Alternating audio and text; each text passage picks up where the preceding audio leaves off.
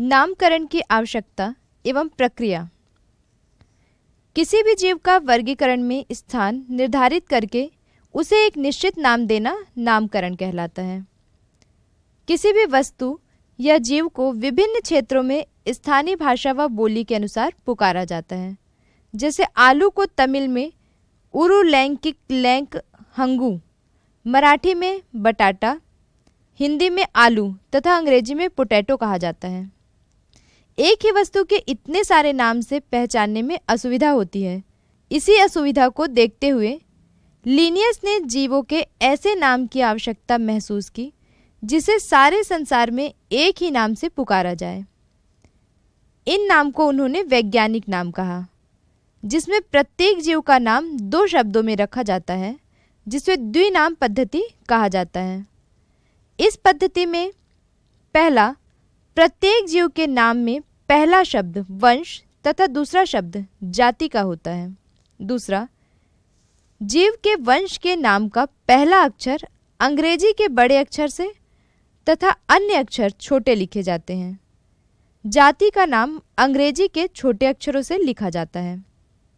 तीसरा, वंश तथा जाति के नाम को तिरछे अक्षरों इटैलिक में लिखा जाता है। यदि ये नाम सीधे अक्षरों में लिखे जाते हैं तो उनके नीचे रेखा खींचते हैं। कुछ जीवों के वैज्ञानिक नाम इस प्रकार हैं। मेंढक राना टाइग्रिना, शेर, पैंथेरा लियो, गौरैया, पासर डोमेस्टिक, मनुष्य, होमो सेपियंस। समय समय पर प्रकृति में प्रजातियों की विलुप्ति एवं नई नई प्रजातियों का विकास एक सतत चलने वाली प्रक्रिया है। इसी कारण वर्गीकरण की कोई भी एक प्रणाली सभी जीवों को सीमाबद्ध नहीं कर सकती। विटेकर के पाँच जगत पद्धति के विकसित होने के बाद भी कई नई प्रणालियाँ भी आती रही हैं।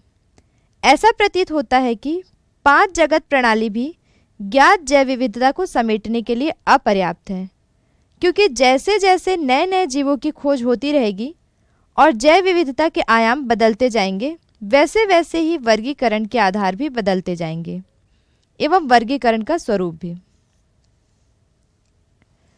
हमने सीखा, प्रकृति में विविध प्रकार के पदार्थ व जीव पाए जाते हैं।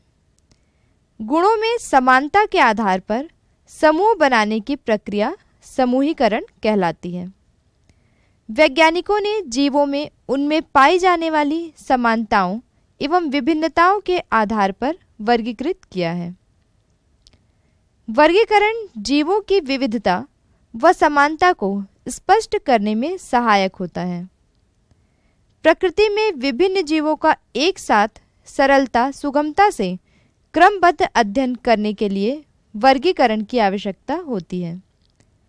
लीनियस ने संपूर्ण जीव जगत को दो जगत, पादप जगत एवं जंतु जगत में विभाजित किया है।